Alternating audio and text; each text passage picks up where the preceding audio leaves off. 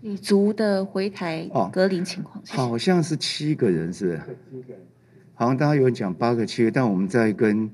跟教育部那边，他们在离清这总共有七个人了哈。那当我们预祝他比赛顺利哈。目前都是轻症或者是没有症状。那回来的时候，当然要照着哈我们国内本来的一个防疫的规定，好，那确诊的哈会到加强型好的集中呃的检呃防疫旅馆，好，那其他的还是要落地裁剪，好，那阴性的也要到检疫所，那阳性当然到加到加强型，好，那当然是我想他们都给国人带来一个哈很好的一个春节的礼物，好，那我相信教育部体育署这边会做最好的安排。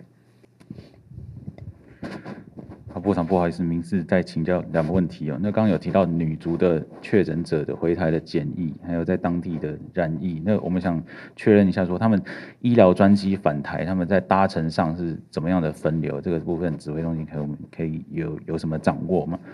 那第二题想请教，就是说关于这个物流公司的这个群聚的问题啊，因为网络上现在有盛传，有很多人都收到赖的讯息，说呃这十四天呢有物流群聚的那一家便利商店不要去，因为物流货运车物品全台来往，还还有提到这个包裹运送的问题，那这个这个部分还是有民众会收到这样的讯息，然后也有民众很担心，那这个部分指挥中心有什么样的掌握？谢谢。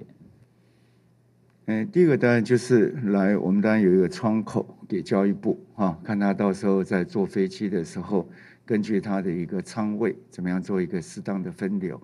当然是啊，染疫者跟非染疫者，当然要做一个很明确的分流。那因为是整台的一个包包机，哦，那所以我们当然会根据在后面其他非染疫者，当然要适当的距离，哦，那可能平常接触比较多的人坐比较近，没有接触的人坐比较远。或者要等他的一个，哦，等一个座座位，哦，再出来之后，然后另外当然也不排除，就是说另外有新增的染疫者，好，那这些到最后要上机的时候才能够做清楚的安排跟报告。然后另外一个是什么？啊，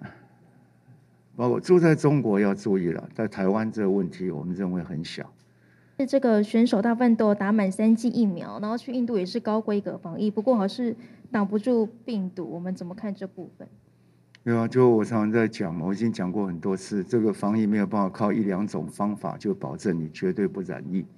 哦，那当然染了疫之后，我们后后续的照顾要把它做好。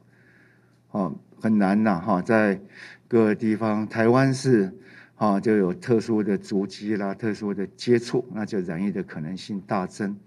哦，那但在国外几乎是病毒是无所不在，所以我们才把世界其他区域都列为我们三三级的风险区域。那也劝告说没有必要，尽量不要出国。